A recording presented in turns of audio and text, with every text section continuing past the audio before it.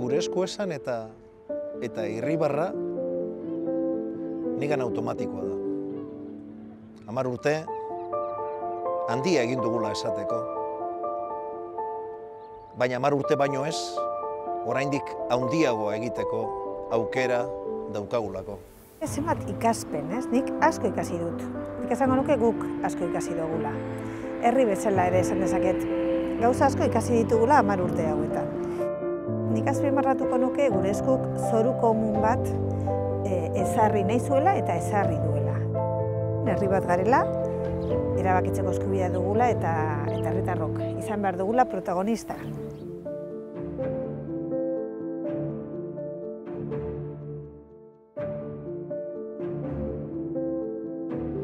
Mobilizazioak gure eskurentzat oso garrantzitsuak izan dira, izan ere mobilizazio batekin jaio ginen. Zakate bat egin genuen, unda goita iru kilometrokoa Durangoan hasi eta Iruña amaitu zena.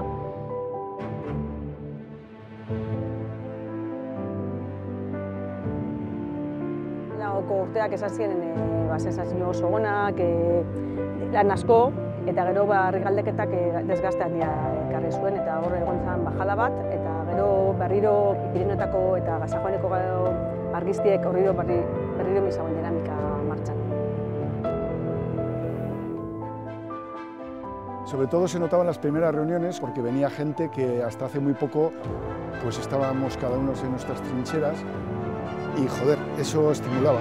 O sea, era algo novedoso vivir eso, sentir eso y trabajar eso. Beti aldarrikatu izan dugu, jende askea izan nahi genula herri libre batean, ez? Eta nik uste e, lelo hori ba, nolabait e, aurrera eraman degula ba, bai feminismotik eta bai gure eskutik. Ez? Eta hori izan dela ba, guretzako motore handiena eta aurrera begira ere e, horri eutxi beharko geniokela.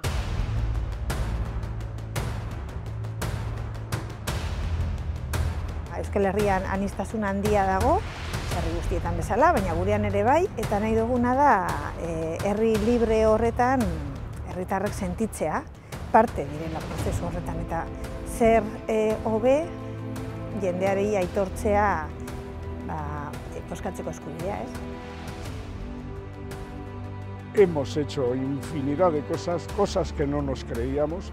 Hicimos una, una consulta en el pueblo en plena Ezkerraldea. Eta esan zen e, alduntze eta e, zaretxe prozesu handi bat gure eskualdien, e, zeruteko herri bakoitzien e, dagoen eta e, kide ezberdinek eta herri zen arteko ezagutzi bai, e, adostuti galdera bera eta gero elkarti sortu eta e, horrek ere zuen prozesu guztize esan zen oso aperaz berriz e, eskualde mailan.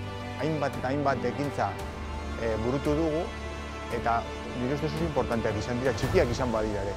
Egin dute giro bat e, herrian.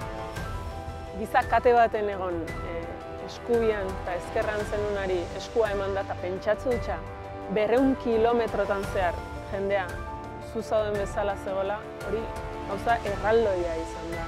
Iaz bertan, ez, Pirineotan irureun gaiur artistatzea, pentsatze dutxa irureun gaiurretan gertatzen ari zela zuzeunden tontor hartan gertatzen ari zena, e, izugarrizko e, energia txutea da. Hori da benetan e, gure ekimenari zentzua ematen diona, ez? Hitzetatik arago e, bizi eta gorpuztu izan dugun zerbait da. Angel Mari Elkanok esan zen bezala, elkarrekin herri hau eraikitzeko borondatea duen jostunak ekara.